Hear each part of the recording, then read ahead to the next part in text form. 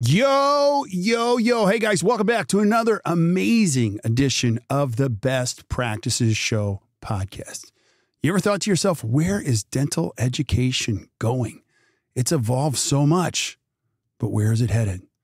Well, I have two of the best thinkers in the world on that Dr. John Kois and Dr. Christian Coachman. And we talk about the past, the present, and the future of dental education. You have to listen to this. I hope you enjoy it, and we'll see you soon.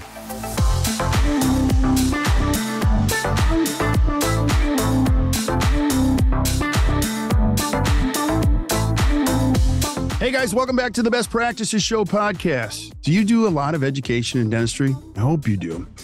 And if you do, you're always wondering, how do these great minds work? Well, today we're going to go right into how these great minds work with two of the best educators in all of dentistry, Dr. John Kois and Dr. Christian Coachman. We're going to ask the question What does it take to be a great teacher? So, Christian, I would love for you to introduce our amazing guests today. Yes, great, great pleasure and honor. Um, everybody that knows me knows how much big of a fan I am from John and how much I I try to become a teacher like John and uh, it is he is the mentor of the mentors um, somebody that devoted his life to education in our profession and still today does it with so much passion and intensity. Uh, people think that i've been teaching for too long. Imagine uh, john i don't know how many more decades uh, you know uh, but i hope that you john will stay forever teaching uh, that's like a dream because uh, we need you so much. And you teach on some of the topics that I love the most.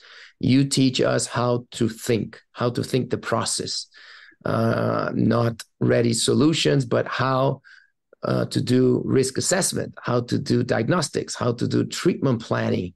Uh, what I believe are the most challenging areas of dentistry.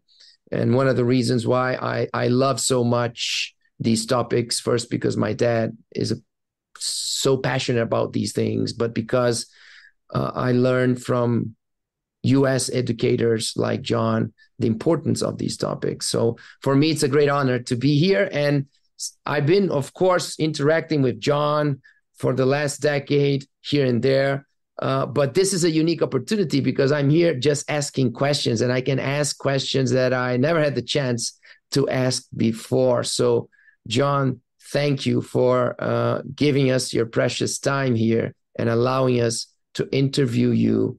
I'm sure it's going to be amazing. And uh, if you can just say hello to our listeners so we can start. Well, greetings, everybody. Uh, Christian, I can't thank you enough for such a, a beautiful and gracious introduction, especially uh, knowing you as I do. That's all from the heart. Uh, I was really looking forward to this opportunity because whenever we're together in any capacity, uh, something happens. And so I learn from you as well. And, you know, when I learn from people like yourself, it, it helps me grow in ways I never imagined I could grow. So I always look for these opportunities. Thank you. This already shows us one of your, maybe, if you may allow me to guess, one of your main skills here is this beautiful beginner's mind. You know, you know almost everything in dentistry. And every time I meet you, you're always behaving as if you didn't know more than anybody else and always open, curious about how to learn more. Is that well, correct? Yeah, I think it's interesting. I I feel that it's important to maintain a childlike curiosity to continue to grow uh, I always want to be better tomorrow than I was today. And so I, I used to talk to my graduate students when they finished their program and they really did some amazing cases. Uh, my comment would be, I hope you just finished your worst work. And look at me like I'm crazy. But the idea is if you don't think you could get better, I don't think you can maintain a passion. I don't think you would continue to strive for excellence and moving moving the needle as far as you can. It's and the way I think about it, it's not a competitive excellence with other people. It's an internal excellence just to be better than yourself. And, you know, the famous idea you can't do better unless you know better. That would be the idea. it, oh. it, it, Kirk. Yes. Would you tell us a little bit of the background, John? So, how do you know? Give us the origin of how this all came to fruition for you. How did, did you did you know you wanted to be an educator? How did this happen for you? Yeah, I don't I don't necessarily have a classic tipping point that this all occurred, but I can tell you when I was in college, I I was thinking about three different career options. One, back then, long time ago, I worked for a subsidiary of IBM, and that's when it was key punch cards and machines that took up rooms. Uh, so I thought I would be in computers. Uh, I also uh, thought about dentistry, and the third actually was teaching and education. I I really enjoyed the conquest, and I thought maybe that would be my career path. I chose dentistry and found a way to maybe put all three of them together today, ironically, and and I feel very grateful for that that opportunity. My real, um, I would say, transition point in education happened in graduate school when we were asked to provide a lecture um, to put a continuing education program together. And I really, really enjoyed that. I really enjoy taking people from a beginning point to an end point and figure out how to close all the missing spaces that I call continuous logic and build it like a movie or build it mm-hmm. like a story. And hopefully, when the conclusion happens, it it reaffirms a, a lot of the different arenas that you covered during the program. So I really enjoyed that opportunity. Yeah. So you, when you were in college already, you had that feeling for education. You say you were even thinking about pursuing this as a career. Uh, were you already a great communicator? Were you good at communication more than your friends? You know, as you were growing up, or no, I actually had no idea. To be honest, I never thought of myself as a great communicator. So thank you for that. Um, I just try to talk to people like I prefer to be talked to myself. Uh, I also try to always handle people with respect and dignity. And I really enjoy questions. I, I tell people that come to the center it's perfectly okay to disagree. It's just not okay to be disagreeable. Mm-hmm. And then maybe we can grow together. And that's been also a tenant of mine in terms of creating a safe atmosphere for people to could be able to confide in things, maybe what they're concerned about, because I really believe that educating the heart without edu- educating the mind without educating the heart is no education at all. Mm-hmm. When you were starting, yeah, when you were starting with it, John, who were your favorite? Who influenced you along the way? Because uh, obviously, yeah, you know, I that I can answer very specifically. When I went to University of Pennsylvania, there were two people that was seemed godlike to me, and that was Morton Amsterdam and D. Walter Cohen, and uh, I learned so much from them. I, I learned about their confidence in managing patients and people, um, their ability to also continue to push the envelope of what we learned. I I felt that my role would become trying to be more of a game changer than what I call an expert regurgitator. I'm not mm-hmm. interested in repackaging what other people have already done. I'm always trying to think, how can I be better? You know, because it started uh, actually from my own insecurities.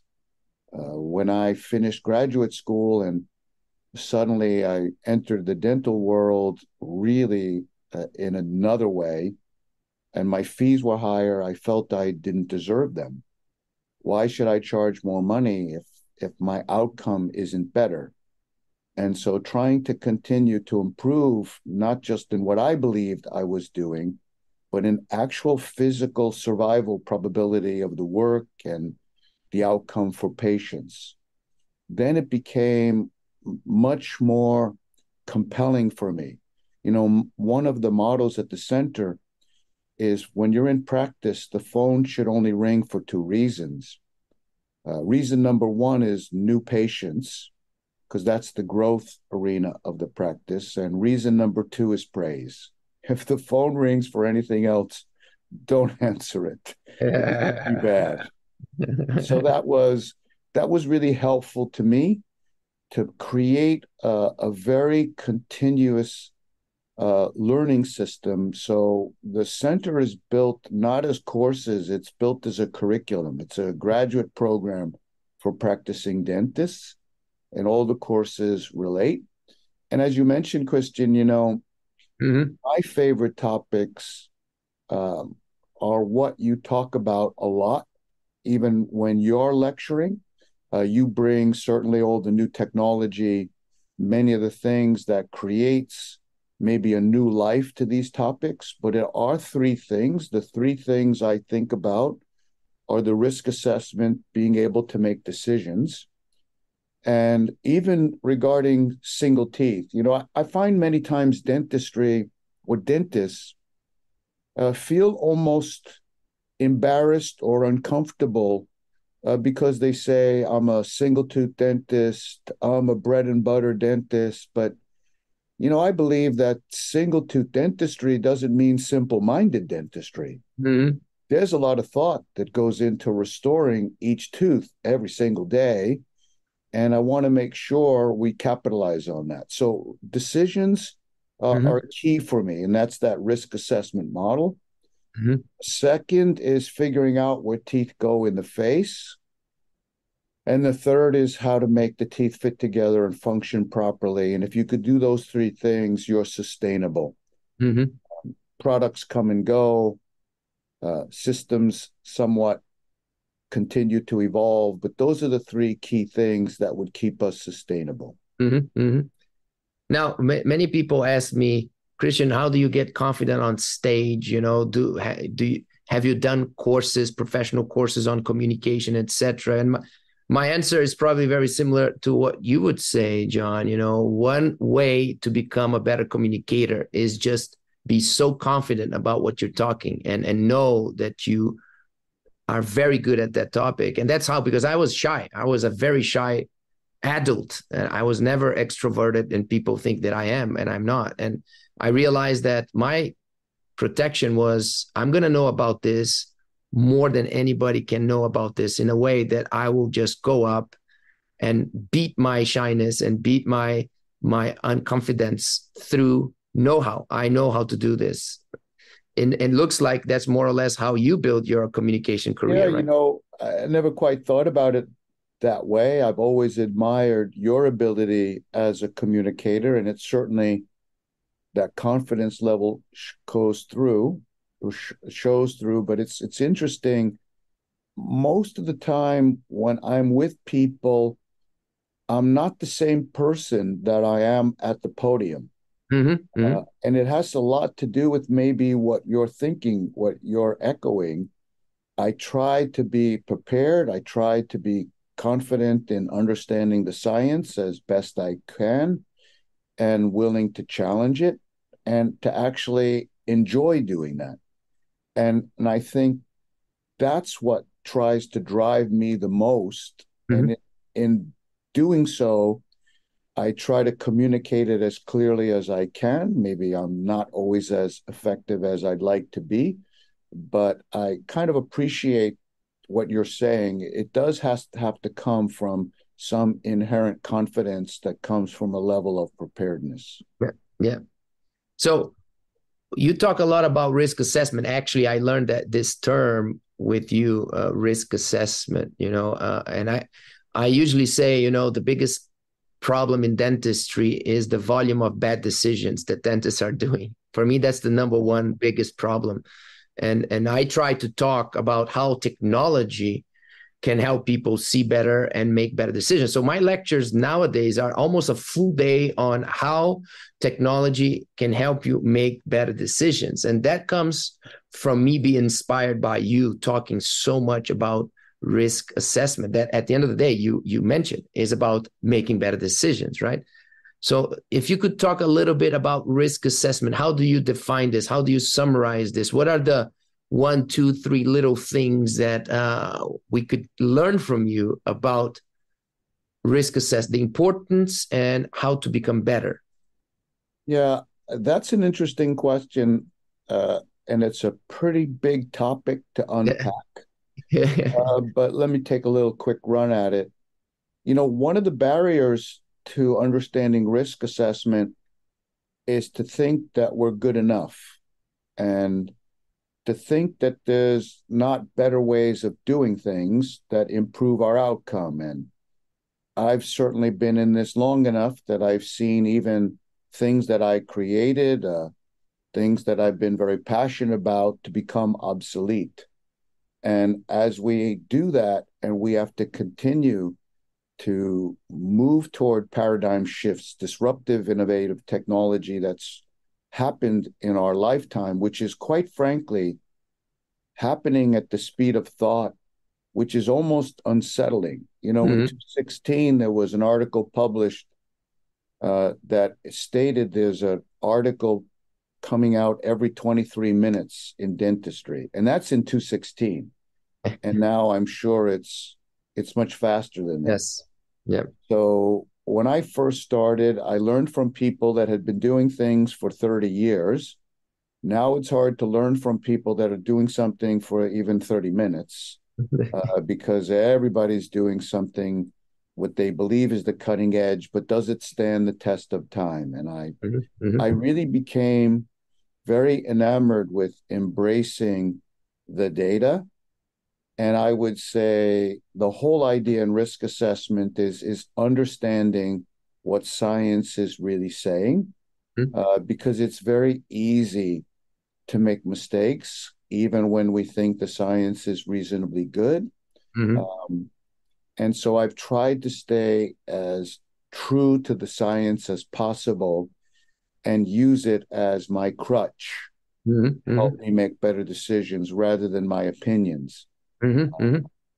Because and, for me, rooted in science is a, always the best way to go. And, and, and even though we know that uh, the fundamentals and uh, you know being rooted in science, these this is the, the the foundation of making better decisions. A clinical experience, you know, um, having some years of experience, doing things over and over again, uh, knowing the information about diagnosis and treatment planning, uh, all of these has nothing to do with technology. These are things that you need regardless of yeah, technology. if I could make a comment on that, I think uh, the challenge for us is being enamored by what would be considered a surrogate endpoint, not a true endpoint. And for example, if you're trying to decide on something as basic as what's the best sodium fluoride varnish to use on the teeth. You know, you can read an article about which particular varnish has the best fluoride release, but but that doesn't really make the decision. The decision, mm-hmm. the endpoint, does it actually reduce the disease we know as caries? Mm-hmm. So it's it's hard sometimes when dentists are not focused on the true endpoint and get diluted by a surrogate endpoint. It, mm-hmm. it makes mm-hmm. it very easy to dupe the real reasons that we are using the mm-hmm. product to begin with. Mm-hmm. Now, even though, you know, technology by itself will not allow people to make better decisions, uh, lately i know that you are such an open person that you've been very open for technology as well. And oh, you've been sure. testing and trying and, and and you are somebody that people don't naturally see you as an expert on digital but i know that you are more of an expert in digital than many people that are teaching about digital. Uh, and and i would easily come back to you to ask you about digital even though people think i'm an expert on digital. So my question is, how much digital is actually helping you make better decisions nowadays? Oh, it's interesting. You know, we have a, a whole digital arm of the center now with Marta here as our director of uh, digital dentistry because She's I amazing. saw that yeah. as our future. She is mm-hmm. amazing. Uh, yeah. I, I don't know another person that has more uh, passion about digital dentistry and the future that that brings than she does. Uh, and it's helped me uh, kind of work. We work together almost as the yin and the yang between analog and digital, and analog and digital. And and I would say one of the things that you can see with digital, uh, maybe I'll make a simple example as photography.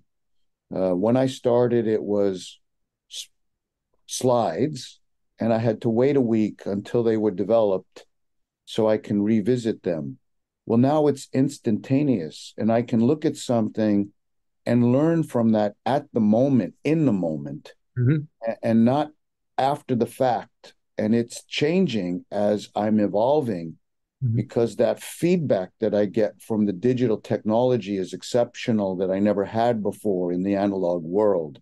I mean, you know you can make an impression but you can't see the result of it until it's poured and said and separated but now it's instant on the screen with an ios and so on so there's so many things that that feedback is in the moment mm-hmm. and i was never able to practice in the moment quite like that before mm-hmm. mm-hmm. mm-hmm. so you speed up the learning curve yes absolutely you actually what i see here happening with us is that you you you shorten drastically the distance between the moment you made the decision and the outcome that that decision generated.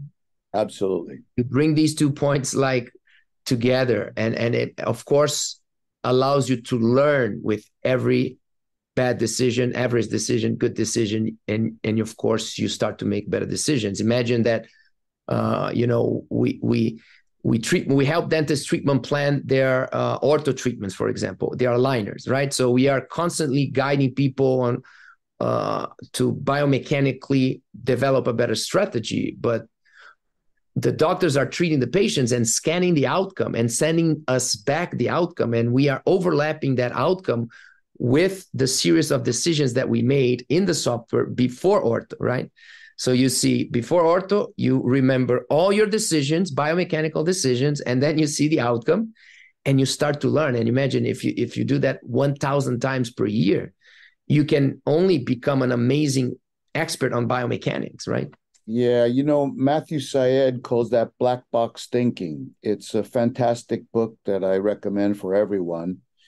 And the idea is to bring as many objective things into our daily decision making as possible because otherwise we were relying on subjective or embellishments or feelings what people believed and that's why we've moved from eminence based learning to evidence based learning mm-hmm, it's mm-hmm. very important that we stay on that track and i've learned so much with objective data that it's really changed how i make everyday decisions and mm-hmm.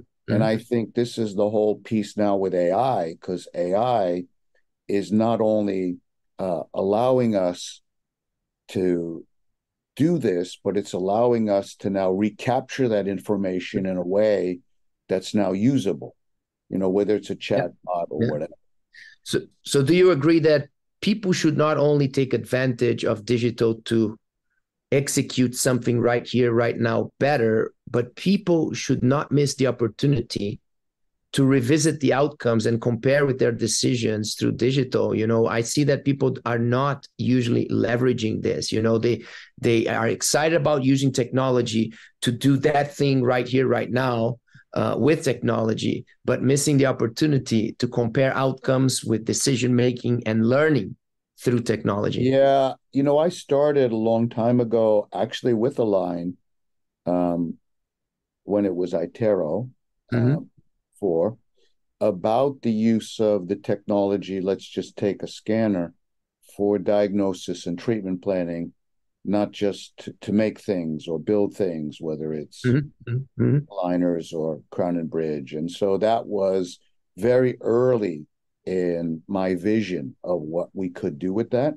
And we're here at the center, we're working so hard to build the virtual patient because I really believe that chair time is so precious. If you're spending a lot of time, a dentist can't afford to collect all the data that's necessary to make the decisions. If we don't take advantage of the technology, uh, we'll get buried. What what got us here is not going to get us there. So yeah. we're going to get buried. Yeah. Can I ask you about that, John? You've seen we're talking about education. People always say dental education has changed. Can you comment on that? And then also, how has the student changed over time? How have students evolved? well, I'll tell you, one of the things uh, we did start the meeting a bit about education. I think what's changed my trajectory in ed- education is working in smaller settings because what I rely on is the feedback that the dentists provide when I'm with them. Uh, because when they come up and ask me questions, I realize that I've created gaps because you never know where dentists are in their journey in development. I, I mean, here at the center, I, I have a dentist that has maybe been out less than a year, and another dentist been practicing for over 45 years. And it's a different level that we're trying to uh, relate to. And based on what your past experiences are, what their training was before they came. And so the gaps I find are growing because the information is so vast. You know, what I think is happening is dentists have to realize maybe three things in their education journey. Uh, and it's called the three levels of learning. Uh, level number one is about information. Information is cheap. You can Google it. It's not that that difficult, and a lot of younger folks certainly have access to that level technology. Level number two goes beyond information to knowledge. And and well, first of all, information is free, right? You could Google it. Knowledge mm-hmm. is cheap, right? But knowledge depends on accumulating a lot of the different types of information streams that you're getting. But the real key is getting to the third level of understanding, which is wisdom because wisdom is priceless. And you yep. can't get wisdom unless you understand how to manage all the things that is are coming into your brain on an everyday basis and it's it's unbelievable to start to put the pieces together and i enjoy looking at teaching like helping people put together a puzzle the difference is it's no longer a jigsaw puzzle it's a rubik's cube because it's mm-hmm. all three dimensional thinking and very challenging. Mm-hmm. That's the key for me. Absolutely. Go ahead, Christian. And how how do you see the younger gener- generation of dentists coming to you? Do you you know uh, we see many older dentists complaining that the young dentists are not as excited or are not as committed or are uh, want everything easy in their hands. I, am not saying I agree with that, but I, I see many older than usually complaining on the process of trying to find young associates, right? Yeah, I guess I, I've heard that also. I, have not experienced quite that mm, that trend. Either. Maybe I'm very fortunate in what comes to the center. Uh, I would say it this way: I find the younger dentists are incredibly motivated, incredibly passionate, uh, because what what really uh, creates opportunities for the dentists that come here, it's about pride and being proud of what you've done. And I find no difference in younger dentists wanting that than even seasoned professionals. That's number one. Now, I would say, like all of us, like whether it's my grandchildren, even my sons, I mean, every generation has a different as- uh, different access to technology. And what I would say that is common is in the younger dentists, uh, things are happening faster for them. Uh, it's very easy for them to be bored. They're constantly stimulated. Mm-hmm. And it's not easy as a teacher to always create that level of engagement um, because people aren't as patient, right? I mean, you make a phone call and there's a delay in how long it takes for it to ring for three seconds, and you're ready to throw the phone against the wall. I have to tell people, listen, that's going to space and back. You could wait a few extra seconds. So maybe we can kind of re rethink that. But my point is, I do find them incredibly passionate and mm-hmm. incredibly frustrating that they realize even after dental school how much more there really is to learn mm-hmm. to mm-hmm. create mastery you know because uh, you started talking about confidence on the podium the goal is to create the confidence at the chair mm-hmm. and that's when this when the folks come as a student they're really a clinician and they want to feel confident in talking to patients and talking about the things that they do and why they do them at, at a level that's uh, much more compelling mm-hmm. for patients to understand. And I, I think that's what I can hopefully provide as an educator. And and how, how many people coming to you also want to become educators? How many people ask you for help in that environment as well? Um, well, uh, uh I would say uh, I'm not sure if I created that or if they had that inside them. In other words, when I was in the Air Force, I spent nine years in the Air Force, and I spent uh, one of my duty stations, I was treating pilots. And I was always enamored because they all seemed the same mentality, you know, and you have to have a mentality like they had to be a fighter pilot. And I wondered, did the Air Force build that or instill that or was there something inherent in the people that wanted to be a fighter a fighter pilot to begin with i think it's a little of both and so I, I, think we we have that fighter pilot mentality in all of us and we just have to bring it out. And i mm-hmm. think that's possible. Yeah. That's what i enjoy that security that people get. Yeah and i'll piggyback on that christian. I think that's a great question and john i could say this about you and christian. I mean, it's less about teaching for me. When I watch the two of you, real leaders, the mark that they make is they create other leaders, whether it includes teaching or not. You know, John, the people that come from the Kois Center, they're they're not a little passionate, they're extremely passionate about the world that they create. Same thing with DSD. So I, I, it's very powerful to watch the legacy both of you have put on this great profession.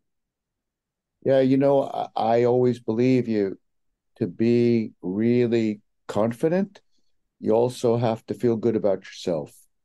And we get beat down in this profession quite a bit by so many of the negative things that we can spend time talking about that I think isn't going to go anywhere. But the point is, I, I think to capitalize on the good things and let them override the other things so they're overshadowed is what I've chosen as my path. And, and, and how important is the tribe? That's the way Kois people call themselves. I'm part of a tribe. Yes. And that for me is beautiful because it shows that is beyond dentistry. It shows that, I don't know, intentionally or non intentionally, you created a movement. And creating a movement is an art. Uh, you can be uh, extremely knowledgeable. You can be a great speaker. You can be a great CEO. You can run an amazing company, but that doesn't mean you have a movement behind you. Having a movement is something extremely special and more powerful than anything else. So, how did you see this happening around the Kois Center, around you? Uh, well, it goes back to things on tribal leadership and what that is and the problem is, um, many organizations, the actual philosophy of the organization goes back to I'm great and you're not. And mm-hmm. people talking more about themselves than maybe what they could do to help other people. So the idea in the tribal relationship is how we can help each other to make our life better and to have a higher purpose. And I know it sounds kind of unusual, but I really actually believe that. And I feel mm-hmm. that the reason we try to feel the tribe part is for people that have your back and people that could really help you to become better than yourself or better than you could and on your own and i think if we could even accomplish that in some small way uh, it may be even bigger than actually working on on teeth or just doing dentistry and and mm-hmm. people tell me one of the things they gain coming to the center is more than just the dental background. More it's it's about their life and how mm-hmm. we can improve everybody's life. That's the idea making everybody better. Yeah. John i want to ask you a question that i'm just curious about. You've written an incredible book with your legacy on this profession. What's the next chapter? Can you give us a peek sneak peek or well, what do you want to do next? You know, it's funny you asked me about the next chapter because most people are asking me when am I going to retire. so, uh, and and I don't. I started. That. I started saying that we hope you will never retire. Yes, you right. did. You did. I was very very flattered by that and encouraged by that. It's funny, you know, as I'm as I'm growing, I feel like now I'm improving exponentially because I have access to so many more things and so many more brilliant people. And as we chatted about Christian in the beginning, uh, we get to a point where a person could say one small thing that just explodes in your brain to open up uh, huge opportunities. So, to answer the question, I'm excited to uh, really move the needle again and change it with technology. And we have so many thoughts here at the center between introducing uh, a chatbot for education and introducing so many things to help improve the uptake of this vast amount of content that we're all trying to absorb. And what I find is as the concerns for how much we're trying to learn, it almost is very frustrating uh, mm-hmm. because, you know, when I first started, and I look back when dentistry seemed more complex, it was amalgam versus composite. How do you put on a matrix band, gold crown, or a metal ceramic crown? It's it's so different today. So it is much more complicated, but I find it exciting. You know, uh, when I finished dental school, there were three things I learned not risk assessment, teeth in the face, and how to make them fit together. It was more about you had to just keep the plaque off the teeth, put them in centric relation, and give people a night guard. those three things, everything should be fine. And that's not the case. I mean, really, does everybody think it's that easy? I don't think so. so it made dentistry, the more I learned, the more excited I became. And the more excited I became, the more passionate I became. And that's really what continues to drive me because what drives me is not what I know, but what I still don't know, mm. uh, but willing to learn.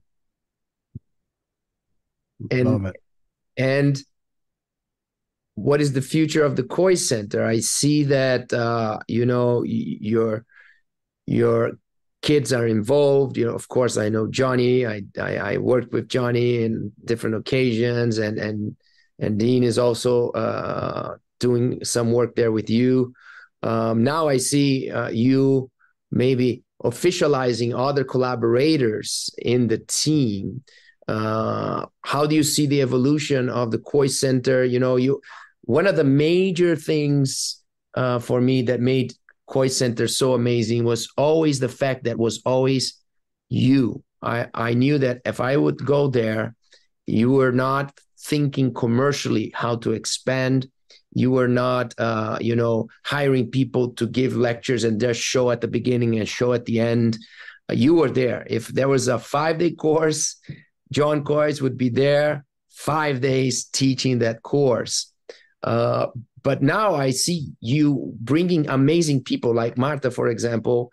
Uh, how do you see this evolution? Do you see the the, the center? Yeah, you, you, that's always the challenge from the original legacy or the heritage of the center.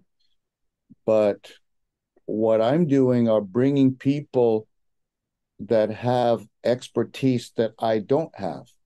So I could assemble the parts a little bit differently and make the make the whole even greater.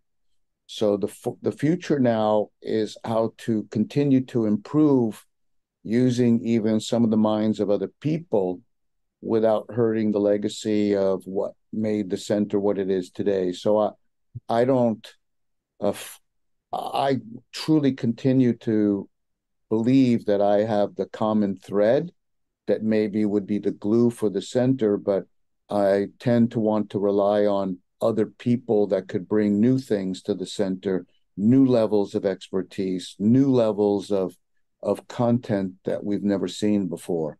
Mm-hmm. And that's what I'm so excited about to grow the center to the next level. Mm-hmm. And and what one more question uh you you know from all the modules that you give the lectures that you give in your programs you know you probably have some modules that have been around for many many years you know the the occlusion one or something like that you know the the topics and lectures that you've been giving for i don't know maybe 20 years or more very similar.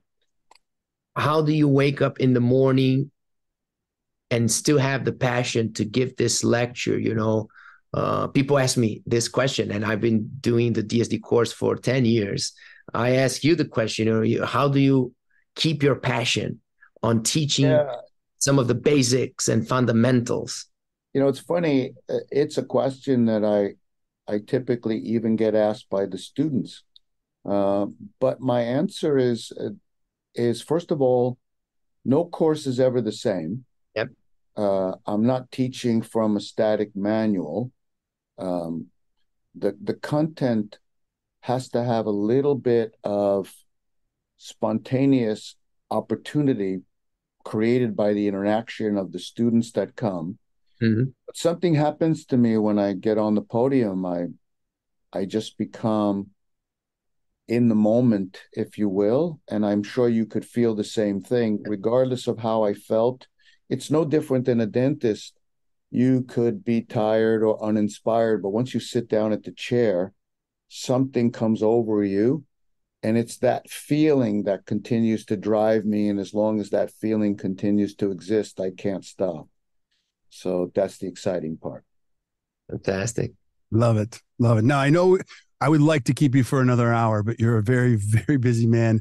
Give us some both fun. I know some people that are going to be listening are going to want to know more about the Kois Center. And We're going to do that after that. But um, maybe, John, give us some final thoughts to think about. And then, Christian, you also. Final thoughts now on education, the future uh, of education, you know? Well, um, I, I think the future of education, uh, it's pretty amazing, you know, the opportunities now we have with different media options and the ability to engage in so many ways. Uh, I think what we're working hard on is creating a, a level of engagement that is second to none. And that's the piece that we constantly are researching and trying to work through because there's some kind of blend between the mind and the body and how people engage. And so we see it in the courses because as the courses progress, it's palpable what happens later in the week as people get to know each other, feel comfortable with each other, there's a level of engagement that starts happening actually in the latter part of the courses when people would normally be the most tired. It's when the excitement comes. So, what we're trying to do is figure out how we can best maintain that level of excitement um, with different options for people because what we begin to realize is people learn differently. Some people are more visual learners, and uh, people like to learn and, at different rates, and so on.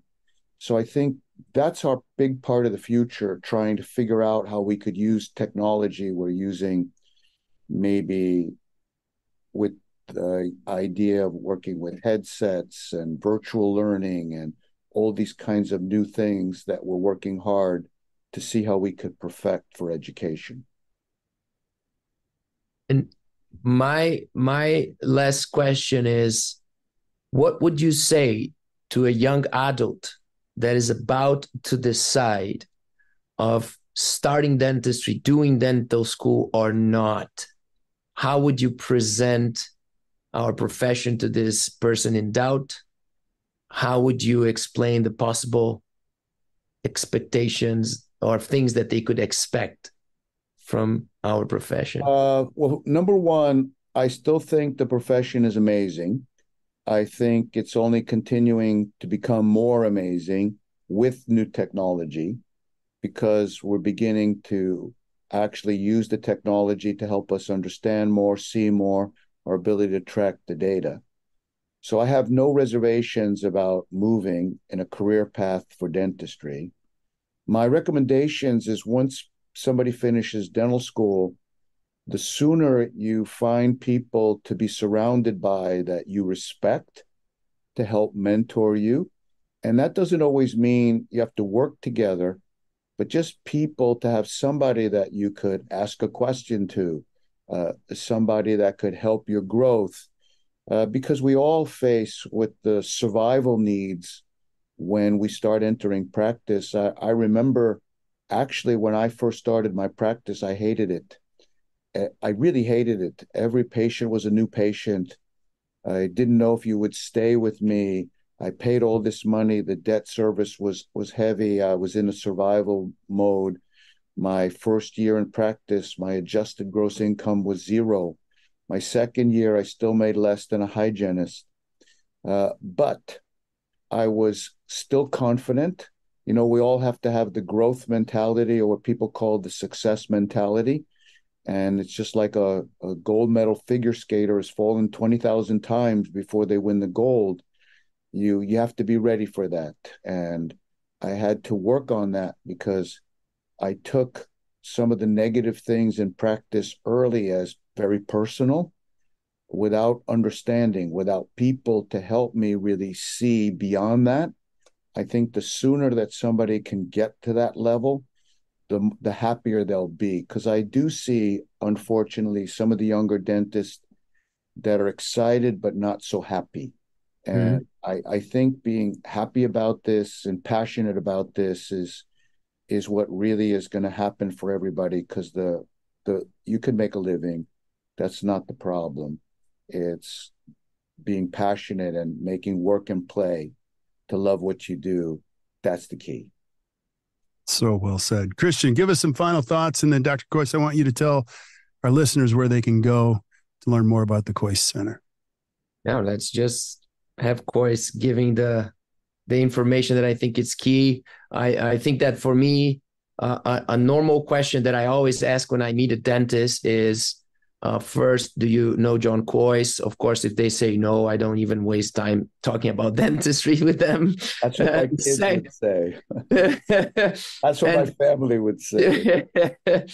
uh, and and second is, uh, did you take his courses? You know, if if the person no, I, am a Kois alumni, then the conversation uh, it's almost guaranteed that uh, you know the conversation will be great so it's almost like a stamp a stamp a quality stamp in dentistry so it's a must investment you you have to do this yeah, course i appreciate that because any of the supporters that have been through the center if somebody that they're talking to uh, maybe have a difference of opinion, they'll say, Have you ever actually been to the center? Have you actually heard the whole rationale for why this is this way or this is this way? And that answer will be a no.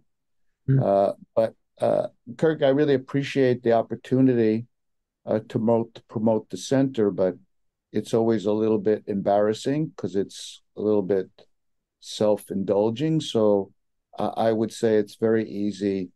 Just Google on the Kois Center and tune into the website. That's well, I'll help you, John. If I'm looking at the website, where do I start? If I if I want to learn more, what would be the first course? Course, uh, course 165. 165. Yeah. We uh you know, we went to the the bigger courses. We're looking for all committed people and that's proven very very good for us and I've really been blessed with wonderful, wonderful people to a T. I, I get everybody saying they love the people that are in the room with them and they love learning with the people that have been here. So uh, for me, uh, I'm very thankful, and it's a tribute to all the people that have been here um, because together they make a wonderful group of people that other people want to be around. So it's it becomes not just about me, uh, becoming about more about the people you want to surround yourself by.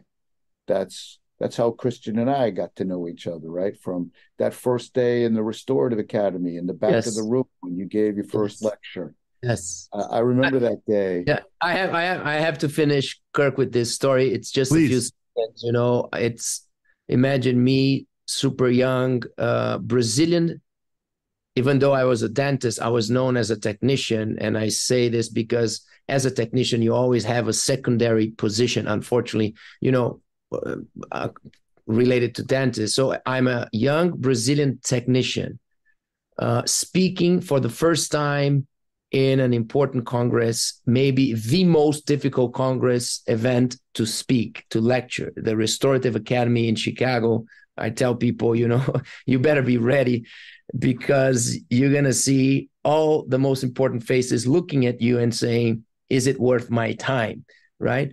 Uh, and I'm there, and, and they give you a very short time to it's almost like a TED talk. Yeah, I think it was like 15 minutes lecture, 20 minutes lecture, something like that.